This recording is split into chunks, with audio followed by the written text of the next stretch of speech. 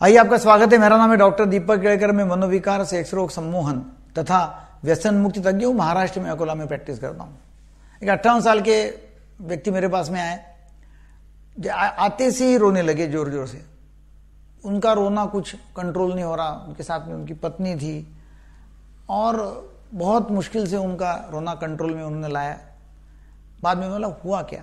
क्या हो गया क्या? तो एक आठ दिन पहले उनका बच्चा मर गया था। उनका लड़का। जो फोर्थ ईयर में इंजीनियरिंग में था।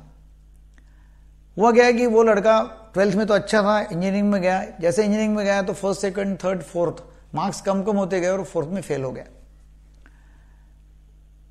इसके पिताजी बहुत शॉर्ट टेम्पर्ड थे, बहुत गरीबी में आए थे।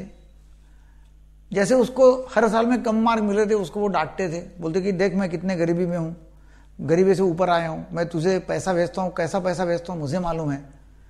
तू पढ़ाई नहीं कर रहा, जैसी करना चाहिए वैसी। और इतने कम कम मार्क मिल रहे।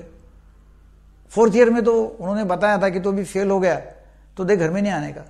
मैं तो घर में नहीं लूँगा। क्योंकि मैं तेरे ऊपर इतना पैसा खर्चा कर रहा हूँ, मुझे मालूम है कि पैसा कैसा भेज रहा हूँ तेरे को। और वो सच्ची फेल हो गया। और फेल होने के बाद में उसने, उसको हिम्मत नहीं दी उसने अपने भाई को फ़ोन करके बताया कि मैं फेल हो गया। फेल जैसा हो गया तो पिताजी ने भाई को बोला कि तू उसको बोल। कि अभी जब तक पास नहीं हो तब तक घर पे आने का नहीं है। और मैं तेरे को पैसा भी भेजूँगा तो क्या करना वो कर ले। वो इतना डिप्रेशन में गया कि उसने वहीं पूना में सुसाइड कर लिया।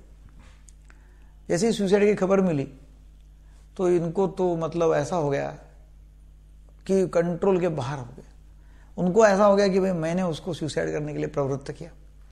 मैं ऐसा कैसा हो गया था। मैंने ऐसा उसको क्यों किया? मेरा लड़का चले गया। ये वीडियो शेयर करने का कारण इतना ही है। कि फैमिली प्रेशर बच्चों के ऊपर बहुत रहता है। बच्चों ने डॉक्टर बनना चाहिए इंजीनियर बनना चाहिए, काफ़ी अच्छी अच्छी डिग्रियाँ लेना चाहिए।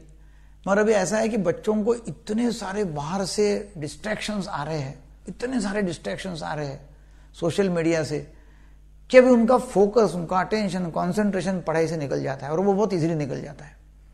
अब उसको माँ बाप ने समझना बहुत ज़रूरी है। माँ बाप जब विद्यार्थी थे, जब वो पढ़ते थे तो ये सब कुछ नहीं था। ना मोबाइल था, ना व्हाट्सएप था, ना इंटरनेट था, ना कुछ था। तो पढ़ाई थी सिर्फ़, और रेडियो था, या टेलीविज़न था। अभी बहुत सारा आ गया है। तो बच्चों को समझ के लेना ज़रूरी है, और जब बच्चों को समझेंगे तो फिर मालूम पड़ेगा कि अभी उसके लिए हमने क्या करना चाहिए। नहीं तो फिर ऐसा हो जाता है, उनको काफ़ी उनका रोना चालू था। मतलब भाई देखो भी जो हो गया हो गया, अभी क्या करते बताइए। जो नहीं होना चाहिए, वो हो गया। अच्छा आपको लगता है कि आपकी वजह से हो गया? पता नहीं, आपकी वजह से हो गया कि उसके दिन भर गए थे। वो उसकी बॉडी निकल गई है, मगर वो अभी भी आपके कॉन्वर्जेशन में, आपके बोलचाल में वो ज़िंदा है।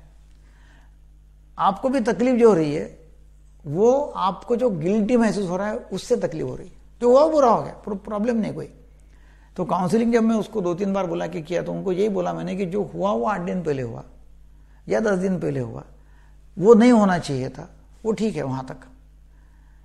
अभी आपको जो रोना आ रहा है, आपको जो तकलीफ़ हो रही है, आपको नींद नहीं आ रही, खाना नहीं है, रोना आ रहा है बार बार तो वो काय की वजह से है कि आपको जो गिल्ट फीलिंग हो रहा है वहाँ से। तो ये आप जब समझ जाएँगे कि वो मर गया, उसमें से आपको कुछ नहीं हो रहा है, आपको जो गिल्टी लग रहा है, वहाँ से आपको तकलीफ़ हो रही है। जो आपने अपने बारे में जो विचार अभी चालू कर लिए कि मैं ऐसा कैसा हूँ, मैंने उसको मार दिया, मेरी वजह से वो मर गया, ये जो अंदरून जो आवाज़ चालू है, अंदरून जो अपने मन में बातचीत चालू है, वहाँ से आपको तकलीफ़ हो रही है।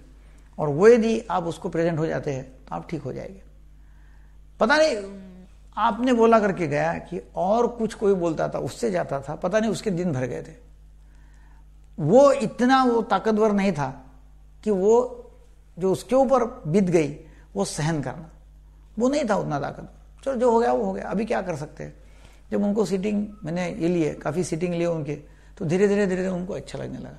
मेरा यही कहना है माँ बाप को कि अभी फैमिली प्रेशर या माँ बाप का प्रेशर जो है, वो बच्चों के ऊपर कितना देना, वो भी माँ बाप ने देखना ज़रूरी है। नहीं तो फिर ऐसे हादसे हो जाएँगे। और फिर ऐसे हादसे होने के बाद में अभी ये, इसके जो पिताजी थे, उनको कंट्रोल करना मुश्किल हो गया कि अभी वो बोल रहे कि भाई मैं मरता, क्योंकि अभी मैं उसका जिम्मेदार हूँ मरने के लिए।